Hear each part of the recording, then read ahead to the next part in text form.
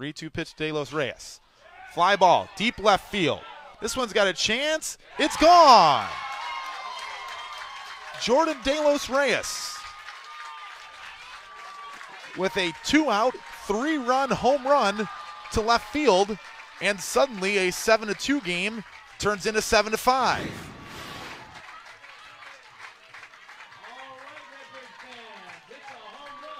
And just like that, things can change so quickly for this Redbird team. We've talked about momentum all game, and it only takes a couple plays to get things going. That was great patience at the plate for De Los Reyes.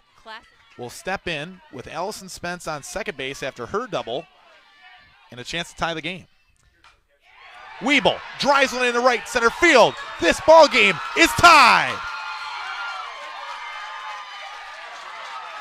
We've seen Weeble connect on so many hits today. They all have gone foul, and we we said she's connecting well. We just need to get contact inside the ballpark, and she did it. But she actually sent it out of the ballpark with how much she connected on that one.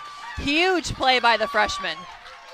A no doubter from Alyssa Weeble as she drove it the opposite way into the right center field gap. This is exactly the situation you want your senior leader to be in.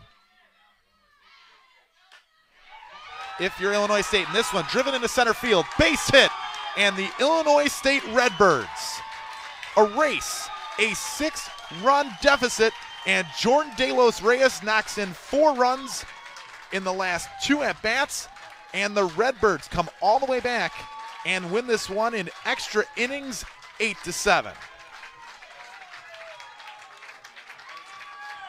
What an exciting finish to what we knew was going to be a very competitive game between these two teams. They've met 133 times. This was number 134, dating all the way back to 1964. It's a historic rivalry. Both teams were very excited to play in this one, and we saw that. Both teams came out very solid. Offensively, defensively, it was a roller coaster. We talked about that too. What an exciting finish to this one.